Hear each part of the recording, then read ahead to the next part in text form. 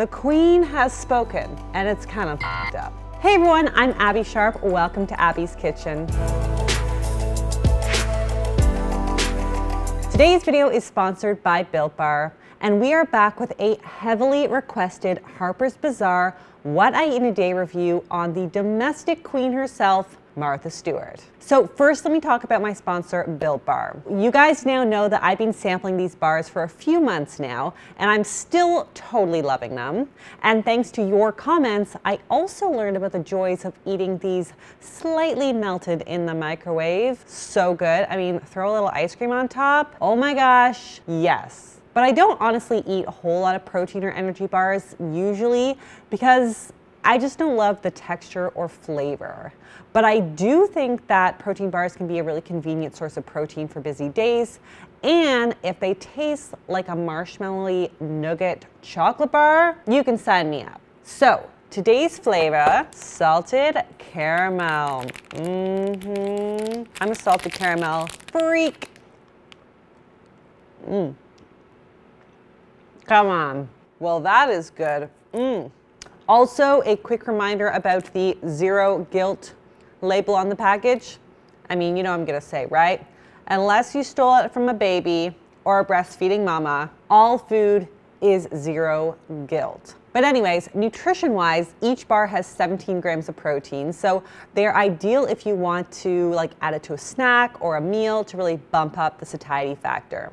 And since they are lower in sugar, if I were to have this as a post-workout snack, I would always try to pair it with maybe some fruit or a piece of toast or oatmeal to balance the protein with carbs and some natural sugars. So if you want to give these bars a try, use my promo code and check out the link below for 20% off of your order. Also, you can pause the screen or look at the description below to check out my disclaimer, including a trigger warning to those with current or previous experiences with disordered eating. And of course, don't forget to subscribe to this channel and ring that little bell so that you never miss out. All right, Martha, give it to me. It's very difficult for me to stay in bed later than, say, 6.15. I wake up really early, way earlier than that. I've already read the newspaper, the New York Times, cover to cover, done the crossword puzzle, tried to do wordplay. Oh, girl, I feel seen.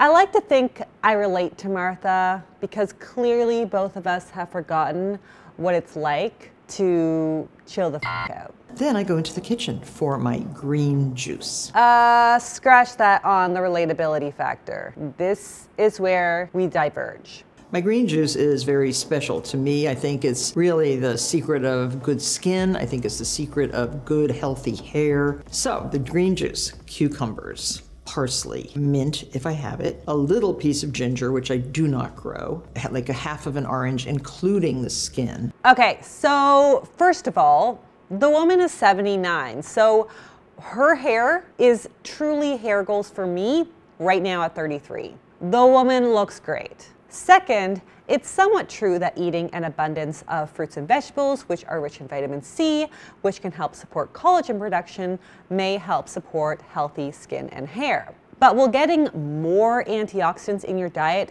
instantly make your hair more beautiful? Probably not as much as good genes would, especially if you're not actually deficient. But sure, like a general healthy diet can help support strong, healthy hair, and skin. True. The vegetables primarily come from my vegetable greenhouse or my garden. All year round, I'm growing my own vegetables because I want organic, I want clean, I want tasty, and I want healthy. What I don't love is Martha's suggestion that she grows her own vegetables to make sure that they're, you know, clean and healthy. That to me feels a little exclusive and also kind of misinformed. All vegetables are good vegetables to me. They don't need to be talked to sweetly or grown in organic fertilizer from Martha Stewart's personal compost. In fact, they don't need to be organic at all. I've talked about organics before in my video on Sorelle Amore right here, so I'm not gonna go into too much detail,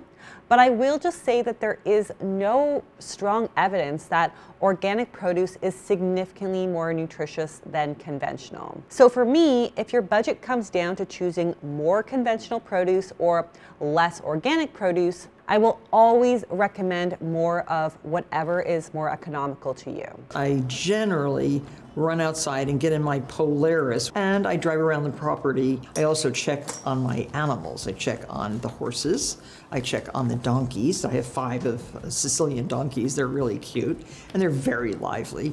I check on the 20 peacocks. I check on the 34 homing pigeons. And I check on the geese that come from four different countries. Oh my God. Only Martha would have 20 peacocks and 17 international geese. Because American geese are just not bougie enough for this queen. Okay, so I am kind of jealous about the donkeys though, because those do sound like they would be pretty cool. In the morning, I'm making waffles. I go back to my kitchen and I treat myself to the most delicious cappuccino made on my trusted San Marco two cup cappuccino machine.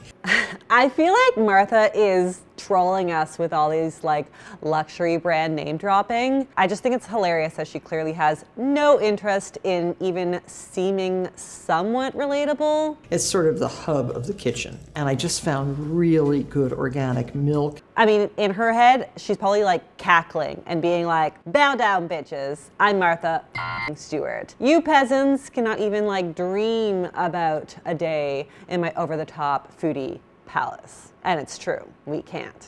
But, anyways, I feel like Martha Stewart and I started off this day on the same page with the type A can't sleep, won't sleep neuroticism situation. But I've realized that the big difference is that Martha is making all of us feel like lazy f- while she gets up to frolic in her foodie themed adult Disneyland. Meanwhile, Meanwhile, I'm up early because I've got a screaming child on my boob and another one having a tantrum because I told him that I wouldn't microwave his smoothie that morning. Yeah. So, same, same, but different. I am not a snacker. I try very hard to keep nothing in the house that will entice me as a snack. That said, uh, people are always bringing me delicious pastries from New York and breads from here and there, but I really like to keep that away from me. So this is feeling a little like the Kelly Ripa interview. I mean, these are definitely type A women, and I too identify with that, so I get it. My sense from this interview thus far is that Martha has no shortage of access to quality food in her home. But when she says she's not a snacker and doesn't keep snacks in the house or anything that would entice her, I think she means that she doesn't buy or eat lower quality processed food snacks. So, unlike my man Lil Yachty, we're talking probably no chips, no candy bars, no cheap crackers, or other packaged foods. And that's cool and totally fine. But since we haven't really seen much of a meal yet, just like a fancy cappuccino and a low calorie green juice, I definitely think there's room for a snack or for a more substantial breakfast here. Something ideally with some protein and fat to carry her to lunch. So that could be some whole foods too, like yogurt and fruit, cheese and whole grain crackers, trail mix, or some nut butter on toast. But let's take a look at what her lunch looks like. I try very, very hard to eat a very light lunch, maybe a tuna fish salad. I, I, I, make a really good tuna fish salad. Italian tuna, of course, packed in olive oil, celery, crispy apple, maybe a half of a shallot, lots and lots of lemon juice, and a little bit of mayonnaise. Of course, Martha will find a way to turn the most humblest of lunch options, tuna salad, into a posh, highbrow dish. First of all, you don't need fancy Italian tuna in olive oil to make a healthy tuna salad. I looked up the bottle that they photographed in this video, which may or may not be what Martha actually eats, but it cost almost 10 times what I pay for tuna at Walmart. I'm sure it's delicious, and obviously she can afford the best. So, Martha, girl, you go and buy the best. But generally speaking, Tuna is one of the most economic protein options that you can buy. So I'm just saying that you don't need to live on a 20 acre mansion to have tuna salad for lunch. I will just flag that if you're eating a lot of canned tuna, you may want to opt for the light variety, which is lower in mercury than the more popular albacore variety. So albacore is still lower in mercury than fresh tuna steaks, but most authorities recommend limiting your consumption to one to two cans of albacore per week. Also, it's worth noting that some light tuna labeled as tonno or gourmet may actually be made with larger skipjack varieties, which may have comparable amounts of mercury to albacore. In other words, your bargain bin tuna may actually be healthier than Martha's gourmet version if limiting heavy metal consumption is a priority for you. Just saying. But mercury aside, I'm sure if Martha is making a tuna salad, that it's a damn good tuna salad. And I love that we've got our protein, we've got some healthy fats in the olive oil, plus a little produce in the mix. But again, with so little fuel in her morning, I was definitely expecting a more substantial lunch. At least a few slices of bread in there to make a sandwich would help to bulk this up. But anyways, let's see what dinner looks like. Last Saturday, I made a delicious dinner. I had gone to the store and I bought a plump organic D'Artagnan chicken. And I bought uh, a rack of lamb and fresh string beans. I went to my greenhouse and I picked all kinds of beautiful frisee and uh, soft butter crunch lettuces. I've recently learned how to roast the chicken sort of like NoMad style or 11 Madison Park style. in case you're not in the loop on the most exclusive roast chicken dinners, Martha is referencing New York City's celebrated three Michelin star restaurant, 11 Madison Park, which was awarded the world's best restaurant in 2017. Getting a reservation is literally an Olympic sport. And the meal with wine pairings will cost you a modest $1,100 per person. So, yeah, my guess is that most people watching this little interview won't know much about this magical roast chicken technique. But I'm a foodie, so now I'm intrigued. Martha, tell me more. Then the day of cooking, um, you if you have some black truffles lying around. I'm sorry, if you just have some black truffles lying around, this is like that popular Instagram meme, top 0.00001% style. Tell me you're a multimillionaire without saying you're a multimillionaire. Take a whole stick of unsalted butter, the best butter like Plugra or Kerrygold, and you slather it all over the skin of the chicken. Okay, so I hear a lot of influencers talk about only using Kerrygold or a similar luxury butter brand. But does it actually make a difference to your health? So I will say in terms of flavor, that's obviously subjective. But personally, yeah, I can taste the difference, especially if I'm using it on something really neutral like bread, where the flavor of the butter can really shine. So I do personally get the appeal when it comes to taste. Kerrygold also gets its golden yellow hue because the cows are grass fed instead of corn fed, which does give it slightly higher levels of beta carotene, conjugated linoleic acid, and omega 3 fats. Having said that, I wouldn't personally bank on butter to get my omega 3 fats because you'd have to eat a lot of butter to get any kind of measurable benefit. And butter is kind of one of those things that we usually recommend consuming in moderation. So, if you like the flavor of grass fed butter and you're consuming it as like a luxury item, not so much as a heavily used cooking oil, then by all means, like it might be worth the splurge to you. But I would personally choose it mainly for the flavor and using it where the flavor actually matters and not so much for any of its added health benefits. But anyway, back to the meal. A good roast chicken or lamb dinner with spring veggies always sounds divine and obviously inherently very nutrient dense. But I'm getting the sense that Martha tends to eat pretty low carb.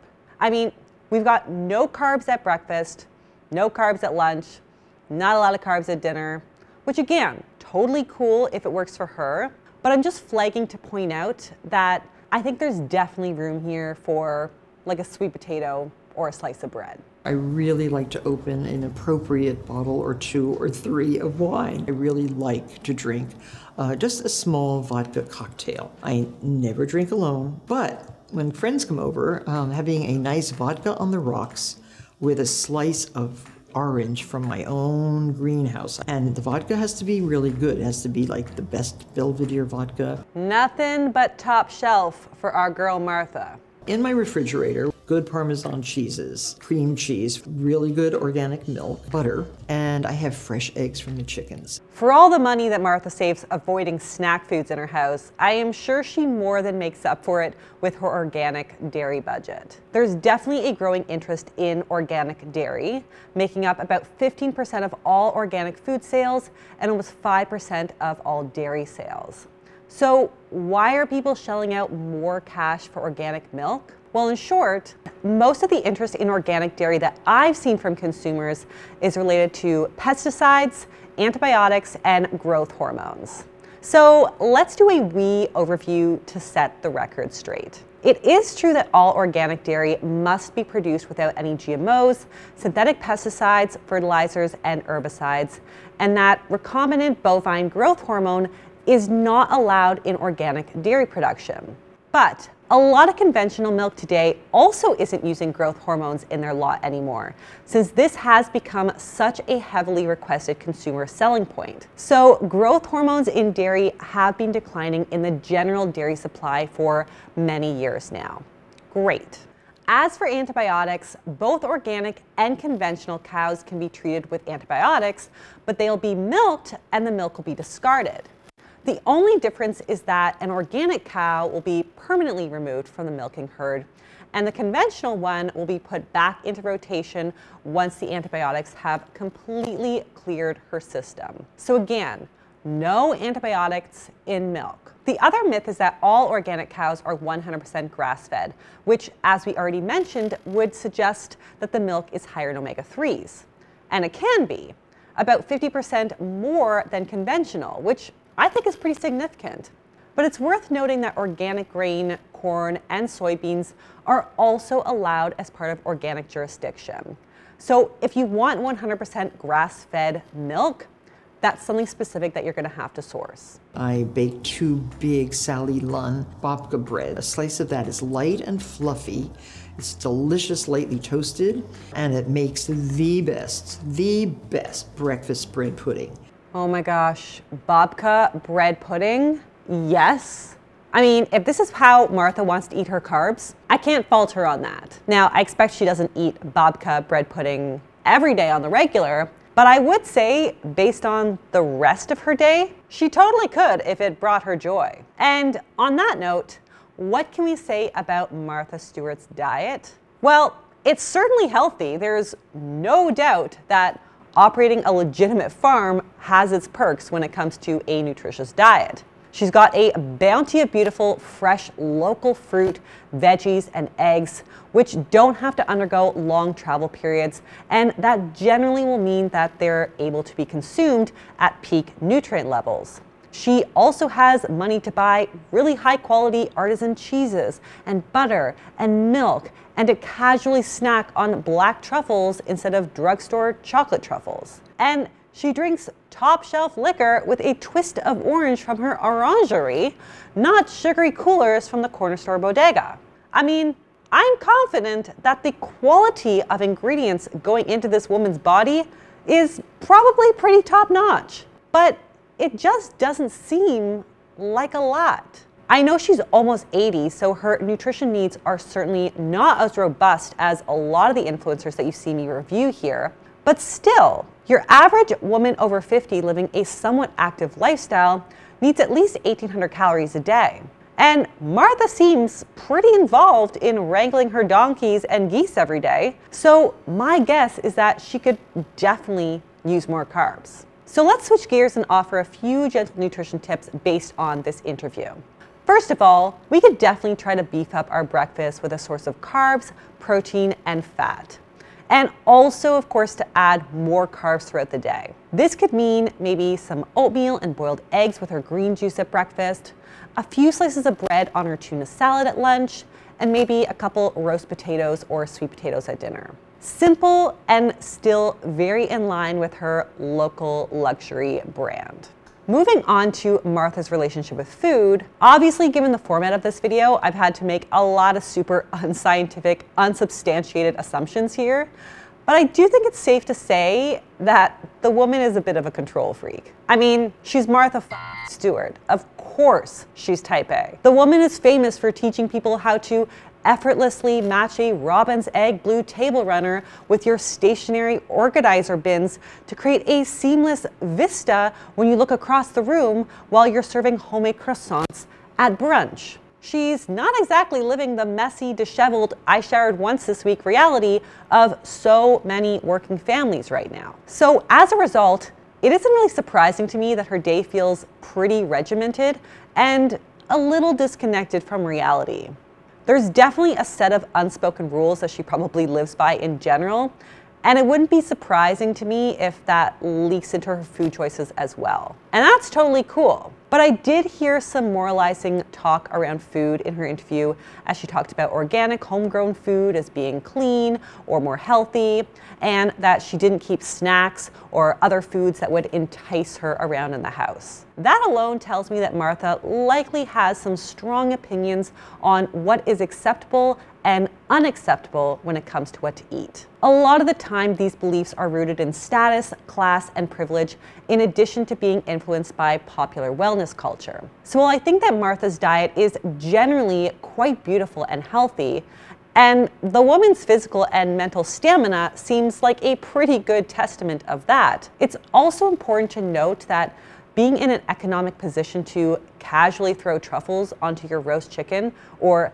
leisurely enjoy your 20 acre farm may also play a significant role. What I'm saying is kind of obvious, but let's not compare ourselves to Martha Stewart or her diet. Even if you manage to emulate her diet to a T, her own socioeconomic status and life opportunities may likely result in a completely different outcome for health. And on that note, I just want to say that I love Martha with all of my heart. I mean, her unapologetic You Can't Touch Me luxury brand is deeply entertaining to me. Not relatable in any way, but entertaining, no doubt. Honestly, I could listen to the woman talk about her homing pigeons all day. But thankfully, I have the critical thinking skills and the sense of self to know that I don't need that life to be happy either.